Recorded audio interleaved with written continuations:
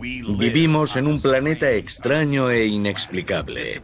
Desapariciones, hechos extraños, fenómenos inexplicables.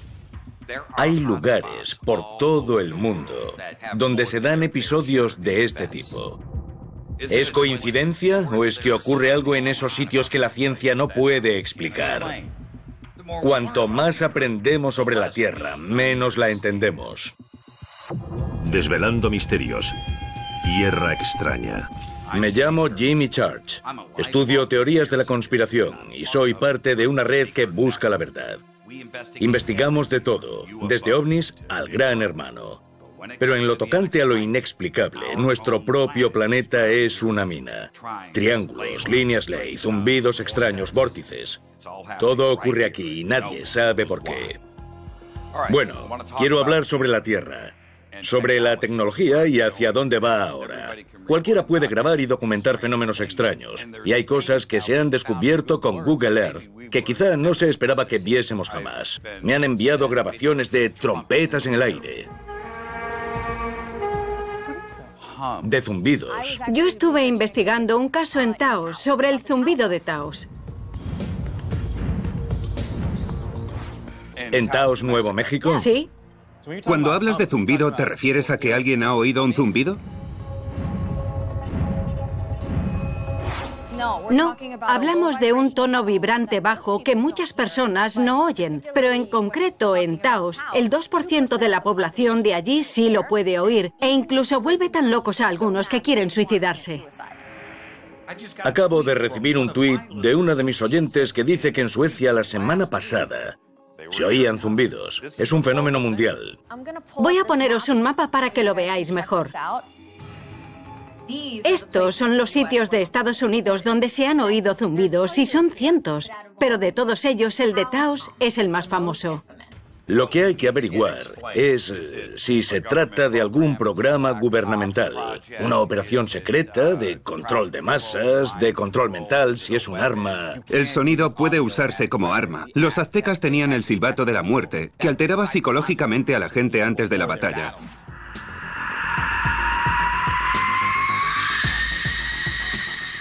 O sea, que sabemos que el sonido puede usarse para volver loca a la gente. Para averiguarlo, quiero conseguir una grabación del zumbido de Taos. Tierra extraña. El zumbido de Taos.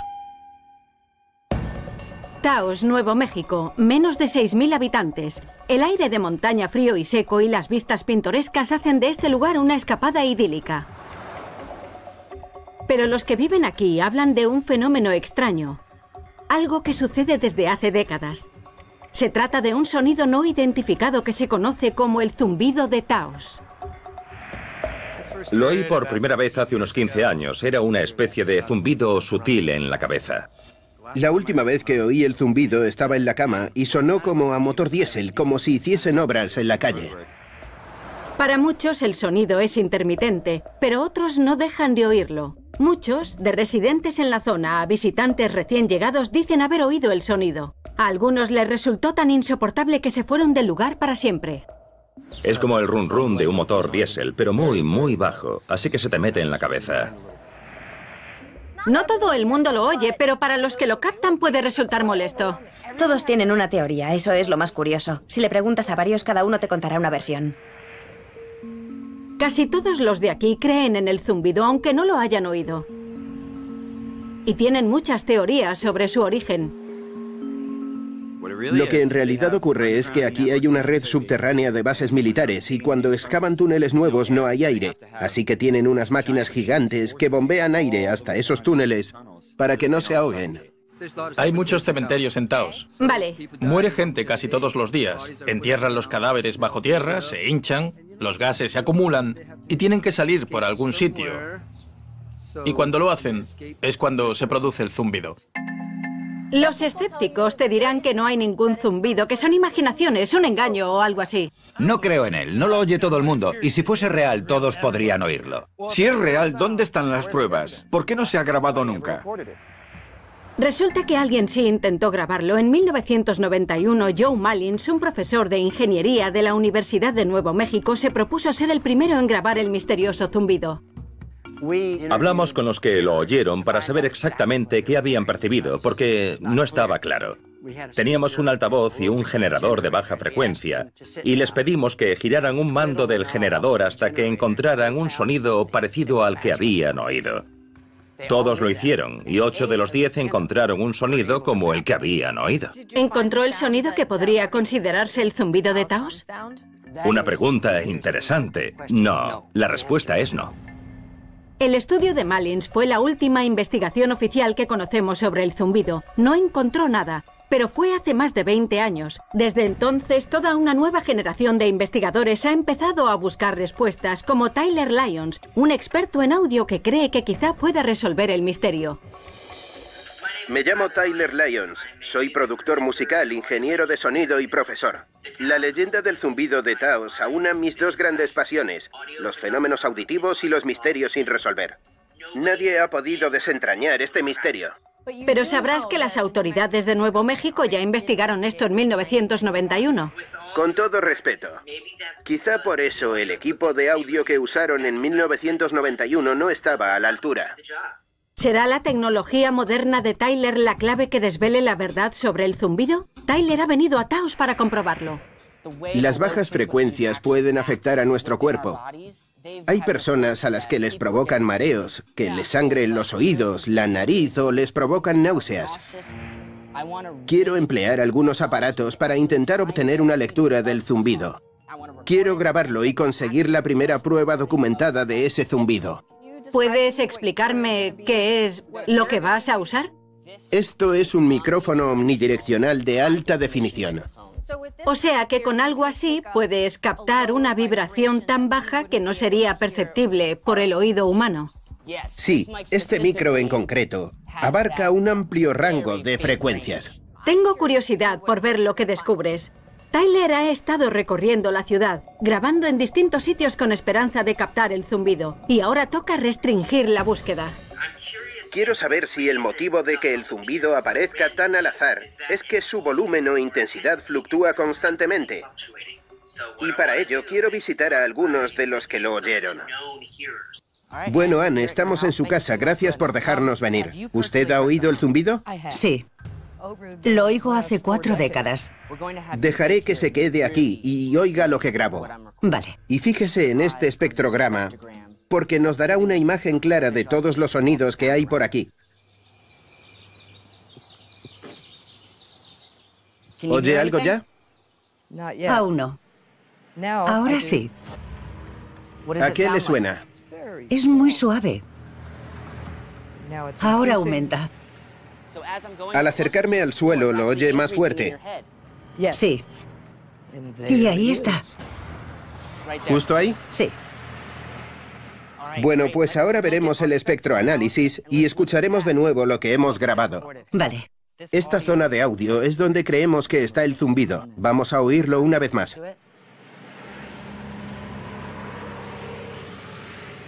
¿Es una buena representación del zumbido que oía?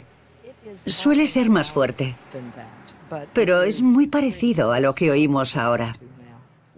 Aquí apuntaba hacia aquella carretera. Ah, vale.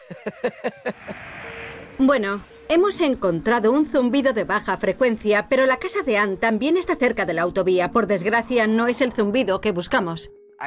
Quiero ir a sitios más alejados, donde no haya ningún tráfico, para descartar ese origen. La ciudad de Taos está rodeada de amplias zonas naturales, parques nacionales y el desierto. Cuanto más nos adentremos en ellas, lograremos grabaciones más limpias. Nos reuniremos con Cisco, un guía local que dice haber oído el zumbido y que puede orientarnos hacia el lugar idóneo. Esto es un campamento que usamos cuando el río va muy bajo para acampar cerca de él. Está lejos de una carretera asfaltada. Este es justo el tipo de sitio que Tyler buscaba. Estamos muy lejos del ruido del tráfico, la industria e incluso de otros seres humanos. Si el zumbido se oculta en el desierto, nos estamos acercando. Hacemos cábala sobre el cosmos, pero nuestro propio planeta es uno de los mayores misterios. Desde las pirámides y Stonehenge a un pueblo de Nuevo México con un zumbido subterráneo inexplicable. Siempre tratamos de entender nuestro planeta. Tierra extraña. El zumbido de Taos.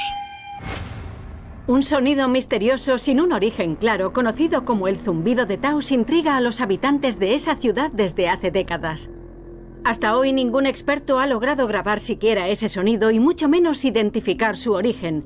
Pero ahora el ingeniero de sonido Tyler Lyons cree que al fin está a punto de lograr algo. Y con ayuda del guía Cisco Guevara encontramos una zona aislada donde esperamos poder captar el zumbido.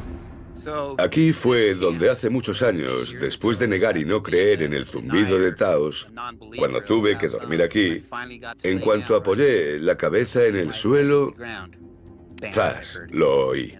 Conocí a muchos que lo habían oído y me había reído de ellos. Creía que estaban algo chalados, pero en cuanto oí ese sonido, me levanté enseguida y pensé, caramba, es real, de verdad existe. No había duda, era un zumbido. El zumbido de Taos, lo oí. ¿Cómo sonaba? No sonaba como nada natural, era como una especie de máquina, así que pensé que quizá había una perforadora, un compresor o alguna otra máquina por aquí, pero está claro que no había nada. ¿Y lo oíste salir del suelo? Sí, no del suelo propiamente, sino que te llena la cabeza. Y recuerda que a muchos de los que oyeron ese sonido en Taos los volvía locos. Algunos amigos míos incluso tuvieron que irse de la zona tras vivir aquí durante años. Pues parece que ya tienes un buen sitio para intentar grabarlo.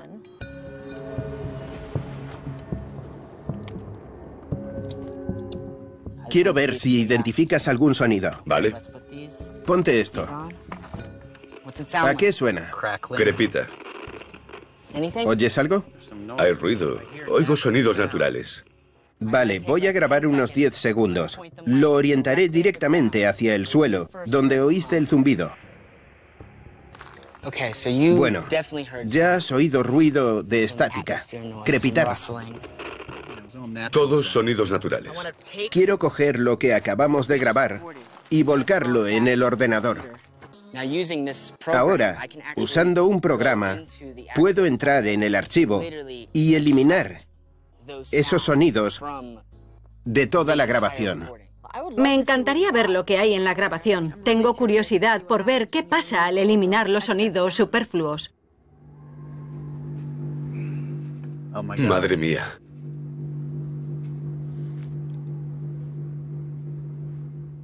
¿Lo has oído? Creo, creo que sí. Se me eriza el vello de los brazos. Qué extraño.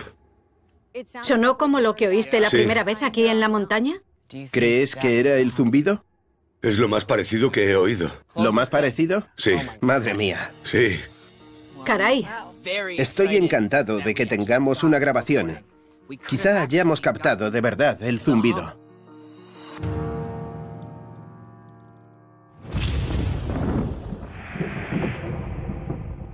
Tengo muchas ganas de oír ese zumbido. Lo haré sonar por estos altavoces. Vamos allá.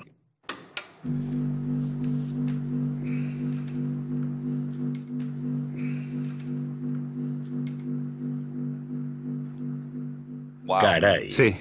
¿Qué te parece? Increíble. Alucinante. Es casi como algo alienígena. Y muy extraño, porque no oí nada hasta que él hizo la grabación. Si no lo oíste allí, pero ahora lo hemos oído a través de la grabación, eso me deja alucinado. ¿Qué hacemos ahora? Tyler está examinando el archivo. Quiere ver si se parece a algún sonido conocido. También quiere enviarlo a la Universidad de Nuevo México para ver si pueden reabrir el estudio y comprobar si tiene efectos neurológicos. Es una grabación increíble, pero aún hay mucho trabajo que hacer antes de que podamos confirmar que este es el zumbido o saber de dónde procede. Lo más interesante es que hemos captado esto. Ahora lo he oído. Tener una grabación es un avance. Esto es un ejemplo más de lo mucho que no sabemos sobre nuestro propio planeta. Y Joe ha investigado otro misterio en Oregón, en el lago del cráter. Es un lugar precioso, pero muy extraño, porque ha habido muchas desapariciones. Es más, en los 100 años que llevan abiertos los parques nacionales han desaparecido 1.100 personas. Caray. En el lago del cráter, en los últimos 20 años, 45. Os lo enseñaré en el mapa. Te diré que no hay nada como el misterio de la desaparición de personas. Este mapa refleja todas las desapariciones en todos los parques nacionales en los últimos 100 años. No es algo tan raro que alguien se pierda en la naturaleza. Pero ¿cómo es que no ha quedado ni rastro? Mi acompañante, Kim Lewis, un oriundo de la zona que conocí, tiene una teoría interesante que podría ayudar a desvelar los secretos del lugar. Tierra extraña. El lago del cráter. Este es el lago del cráter formado hace 7.700 años, cuando un enorme volcán hizo erupción y se derrumbó. Hoy es famoso por su belleza, pero también por una serie de desapariciones inexplicables que han ocurrido en la zona en el siglo pasado. Uno de los casos más extraños ocurrió en 1965 cuando un fotógrafo llamado Charles McCullough fue al lago del cráter y desapareció. O debería decir que casi desapareció. Un año después, los guardas del parque encontraron sus vaqueros y sus calcetines, pero lo más extraño es que el pantalón estaba bien doblado y los calcetines tenían aún los pies de Charles dentro. Y otro ejemplo, en 1991, un hombre llamado Glenn Allen Mackey condujo hasta el lago del cráter, igual que hago yo ahora, aparcó el coche y a los pocos minutos de llegar desapareció de la faz de la Tierra para siempre. Las autoridades investigaron todos esos casos, pero no encontraron indicios de violencia. Aquí pasa algo que no tiene explicación, pero ¿qué es? Voy a reunirme con King Lewis, que trabaja de guía en esta zona desde hace 30 años. Como esos misterios siguen ocurriendo, el interés de Kim en ellos ha ido creciendo. Me han dicho que Kim es un guía extraordinario, pero él me ha dicho que tiene una teoría que puede explicar todas las desapariciones ocurridas, y me ha invitado a ver la demostración. Mi teoría es que hay una relación entre algunos de los misterios del lago del cráter y el Triángulo de las Bermudas. Un momento. ¿Ha dicho el Triángulo de las Bermudas? He vivido en esos dos bonitos lugares, la región tropical del Triángulo de las Bermudas y el hermoso parque del lago del cráter. Y creo que hay una relación. El Triángulo de las Bermudas es uno de los mejores ejemplos de fenómenos inexplicables. Aquí hay muchas desapariciones. Más de 20 aviones y 50 barcos han desaparecido sin dejar rastro allí en los pasados 100 años. Y pese a los muchos estudios e investigaciones, nadie sabe explicar por qué. Pero hay cientos de teorías. Una de las más recientes es la del fenómeno del vórtice. Y Kim cree que esa misma fuerza actúa en el lago del cráter.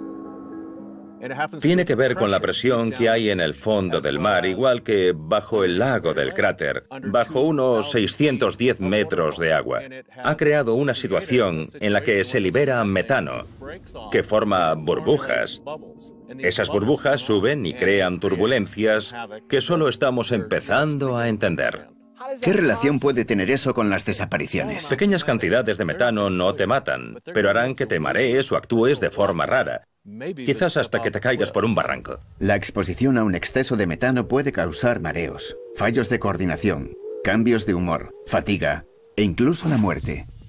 En 2007, cinco miembros de una familia de Virginia murieron por exposición al metano que emanaba de un pozo negro de su granja. ¿No se detecta el metano? Eso es justo lo que me gustaría comprobar. Mi idea es que si podemos usar un dron y sobrevuela el lago a determinada altura, podría comprobar con un sensor de metano si hay fugas de ese gas. Esto es Discovery Point. Se cree que es donde el primer hombre blanco vio el lago del cráter. Dicen que se durmió mientras subía y si su mula no se hubiese parado se habrían despeñado. Kim ha quedado con el guarda Brian para que nos ayude a comprobar la teoría del metano. En 1945 se vieron burbujas en el centro del lago. Lo llamaron el burbujeo del 45. ¿Qué profundidad puede haber allí donde ocurrió? La profundidad media del lago pasa de 300 metros. El lago en su punto más hondo pasa de 600 metros. Es el lago más profundo de Estados Unidos y el noveno del mundo, así que es muy hondo. Vale, pues tenemos un lago muy hondo y también se sabe que burbujea. ¿Podría ser indicio del metano que Kim busca? Brian, se nos ha ocurrido una idea. Queremos investigar si es posible que haya fugas de metano en el fondo. Y nos gustaría usar un dron sobre el lago. Queremos comprobar si hay efectivamente fugas de gas con un detector de metano. Los drones no están permitidos en ningún parque nacional. Me parece que el guarda Brian no va a ceder en eso, pero Kim intenta convencerlo con más pruebas. Durante la Segunda Guerra Mundial hubo bombarderos que sobrevolaron esto desde el aeródromo de Kingsley. Al parecer entraron en una nube y hay informes de que entraron cuatro y solo salieron tres. No tienen ni idea de qué fue del cuarto. Y es un episodio del que hay constancia. No he oído hablar de él, es la primera noticia que tengo. Vale, pues de acuerdo, estoy algo decepcionado, pero lo aceptamos. Me alegro. Gracias por respetar las normas. Bien, sigo indeciso sobre la teoría del Triángulo de las Bermudas, pero Kim tiene otro plan para recoger muestras. Me lleva al lado sur del cráter para ver si podemos detectar presencia de metano en el terreno que rodea el lago. Me gusta esta acumulación de nieve y hay tierra debajo de ella. Podría haber depósitos de metano acumulados ahí. Encenderé el aparato y lo comprobaré. He captado algo.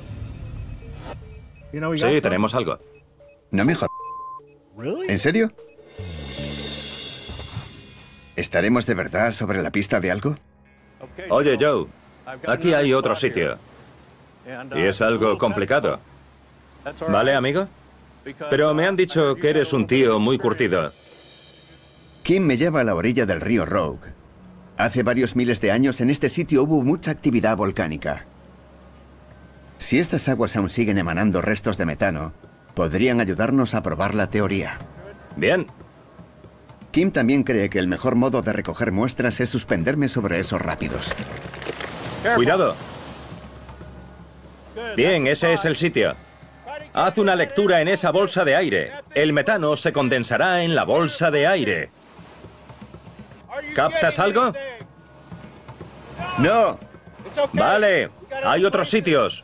Vuelve ya. Aunque la conexión entre el Triángulo de las Bermudas y el lago del cráter aún no está demostrada, sé que es un misterio que merece la pena investigar. Y necesitamos personas como Kim para seguir buscando respuestas.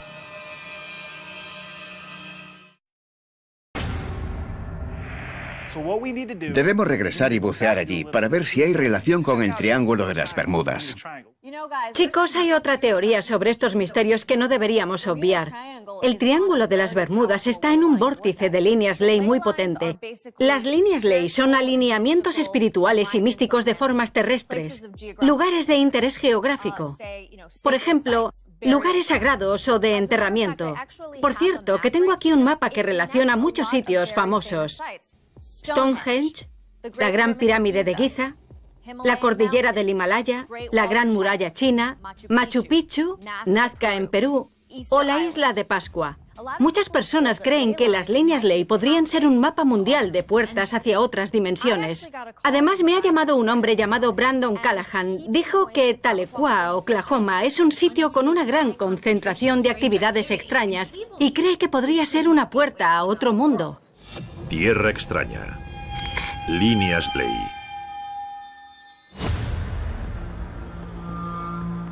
Estoy en Oklahoma para ver por mí misma si hay pruebas de que la teoría de las líneas ley podría ser cierta. Explícame el concepto de las líneas ley. Hay varios lugares por todo el mundo que tienen más energía natural, pero las líneas van en distintas direcciones, así que se entrecruzan. ¿Ejercen como una atracción magnética? Esa es la teoría. ¿Y se entrecruzan aquí? Exacto. Esta intersección, el lugar donde investiga Brandon, también tiene relación con una tragedia. O sea que viniste y descubriste que aquí terminaba el sendero de lágrimas. Así es. El Sendero de Lágrimas fue el traslado obligatorio de los americanos nativos desde los estados de la costa este. Y los hicieron atravesar a pie la mitad del país. Y muchos de ellos murieron en el trayecto. Sí, eso es, miles. En 1830, el presidente Andrew Jackson firmó la ley de traslado forzoso de los indios. Eso le dio poder al gobierno para expropiar las tierras de los americanos nativos y trasladar obligados a los indios cherokees a reservas en el oeste. Una caminata obligada de 3.500 kilómetros desde el este a Oklahoma, conocida después como el Sendero de Lágrimas. Muchos iban encadenados y no recibieron comida ni agua durante el camino, lo que provocó miles de muertos. El sendero de lágrimas discurre muy pegado a una línea ley que va desde la costa este, y uno de los puntos de intersección está aquí en Tahlequah. O sea que contactaste con la nación Cherokee y te dijeron que hablaras con Marvin. Eso es, sí. Marvin es un americano nativo cuyos antepasados sobrevivieron al Sendero de Lágrimas. Se asentaron aquí en Tahlequah, Oklahoma, hace más de 170 años. Durante generaciones, la familia de Marvin ha sostenido que esta zona está llena de actividad demoníaca. Marvin ha vivido muchos encuentros extraños que no sabe explicar. De pequeño, me despertaba y veía algo que no identificaba. Era una figura en la esquina. Parecía como un esqueleto y luego desaparecía. Pasado el tiempo empecé a despertar con arañazos y a sentirme como si me hubiesen atacado. Los médicos pensaron que estaba perdiendo el juicio. Nunca habían visto nada igual.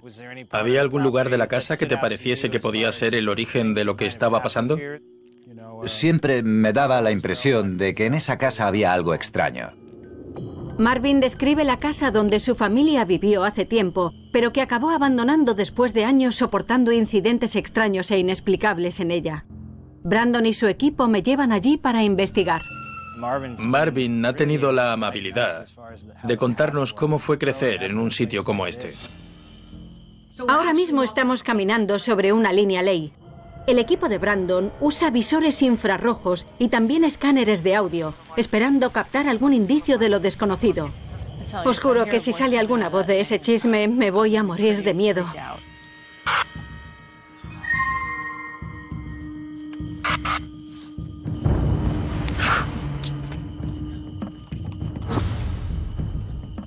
Dios. Esto es horrible. Madre mía. ¿Qué es eso? Puede que murciélagos. Huele fatal. Sí, eso estaba pensando. Algo huele... Horrible. Algo huele muy fresco. ¿Eso es la sala de estar? Esto es... Caray. Lo que era la sala de estar, sí. Me da la impresión de que el suelo podría hundirse. ¡Caray! ¡Murciélagos! ¡Un murciélago! ¡Cuidado! ¡Arriba, arriba, arriba! ¡Madre mía!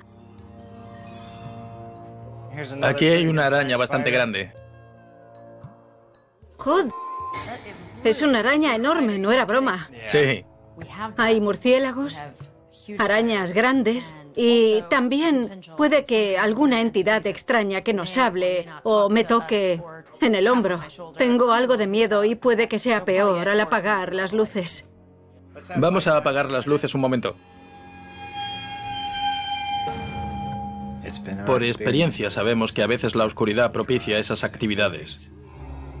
Sé que da algo de miedo, pero... Esto es raro. ¿El qué? ¿Qué pasa? Aunque hace bastante calor, ahora tengo la piel fría. ¿En serio? Sí. ¿Será el miedo?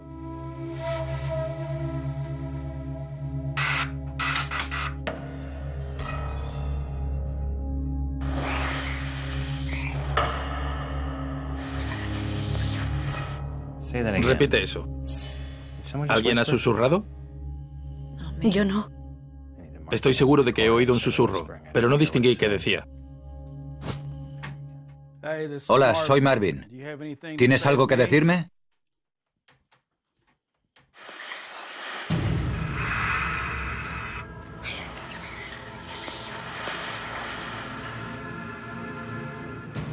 ¿Qué quieres decirme? Habla por el walkie-talkie, transmite. Es extraño. Es muy extraño. Sí, ya van dos veces. No te oigo bien, habla más claro. Vamos. Háblame. Aquí lo tienes, está en mi mano. Esto es muy raro. Noto una brisa fresca. ¿La notas? Sí. ¿Dónde? Sí, la noto. ¿El walkie solo responde a Marvin? Sí. Algo ha reaccionado ante él. ¿Sabes qué? Me muero de miedo. Es mejor que volváis ya. Creo que ya he tenido bastante. Lo que había allí reaccionó ante Marvin. Entré ahí con escepticismo, pero cada vez que Marvin preguntaba algo, decía, habla por el walkie, y se activaba. En cuanto él hablaba, el walkie hacía ruido. Cuando realizas estas investigaciones, a veces es algo muy claro, muy evidente, muy patente. Otras no descubres hasta unos días después, cuando lo revisas todo, que hubo mucha actividad y no pudiste oírlo. Esto lo ponemos en una frecuencia muy baja, que nadie suele usar. Estamos a kilómetro y medio de la autopista más cercana, así que tener interferencias de radio sin tendido eléctrico cerca es muy raro. Y esto no es más que la punta del iceberg. Se oyó una voz. Yo la oí. Da mucho repelús. No sé qué querrá decir esto, pero para Brandon significa que eligió bien el sitio.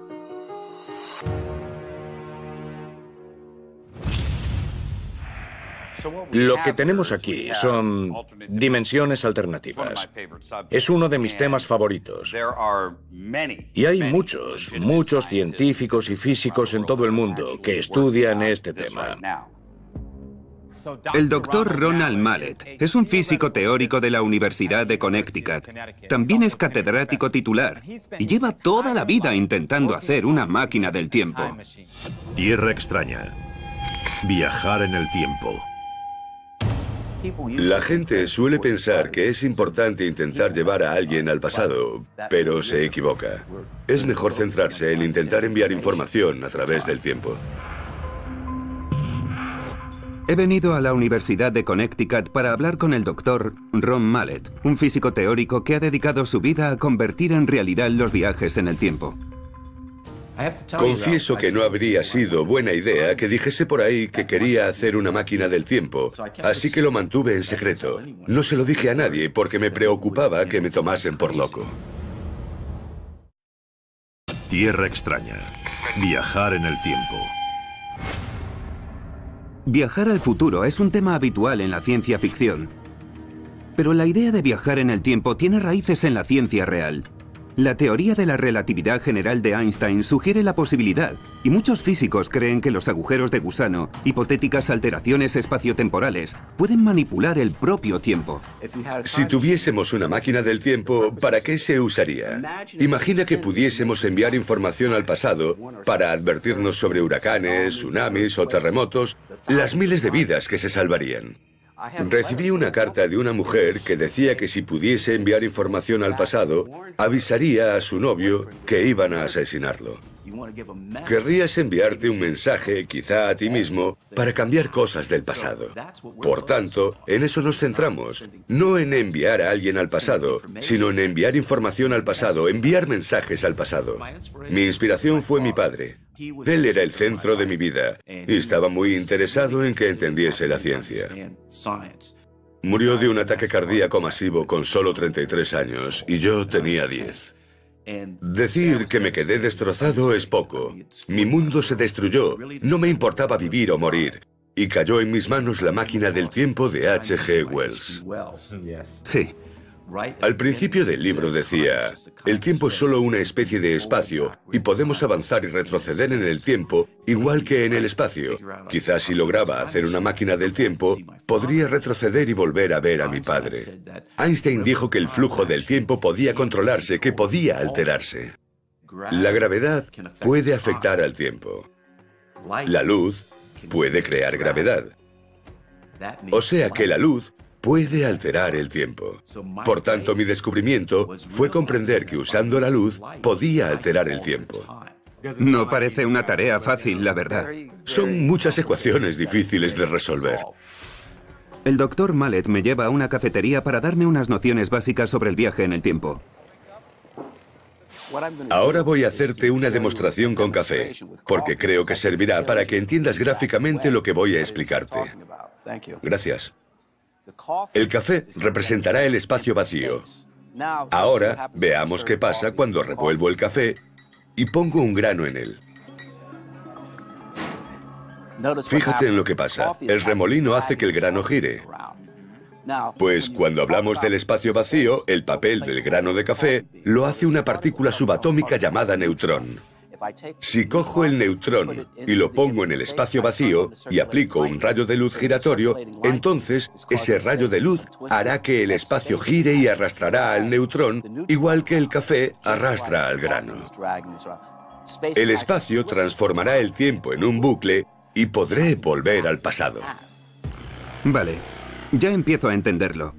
Enviar a alguien al pasado, tal como solemos imaginar el viaje en el tiempo, presenta enormes obstáculos. El cuerpo humano es demasiado complejo. Pero Ron habla sobre neutrones, partículas subatómicas, sencillas y aerodinámicas, pero con un potencial inmenso.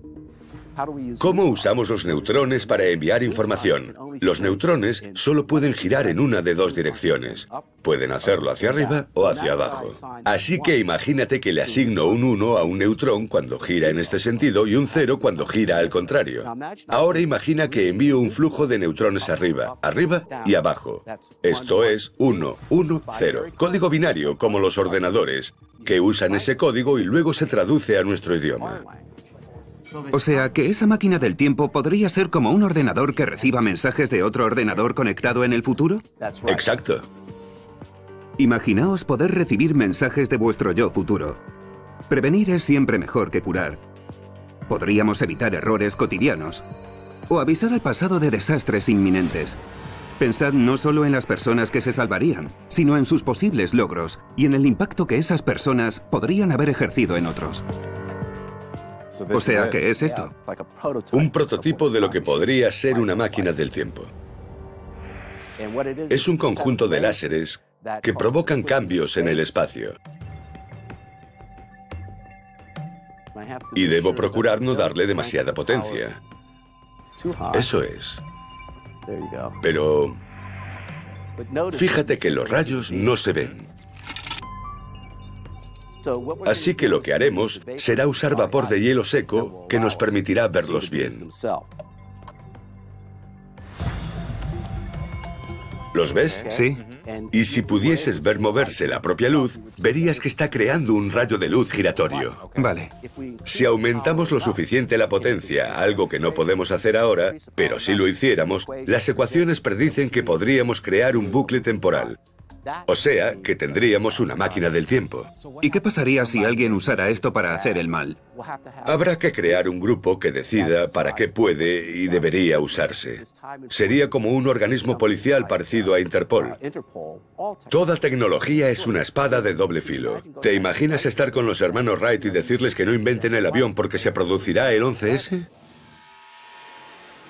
Pero si empezamos a alterar el pasado, ¿qué pasará con el presente? ¿Qué pasa si la historia, cada triunfo, cada desastre, cada muerte y cada nacimiento ya no son algo inamovible? ¿No crearía la posibilidad de reescribir tragedias pasadas, una utopía o nuevos terrores desconocidos? Supongo que, como suele decirse, solo el tiempo lo dirá. La verdad es que después de ver tu entrevista con el Dr. Mallet, Solo puedo extraer una conclusión, que viajar en el tiempo es posible. Y que la propia Tierra es un lugar extraño.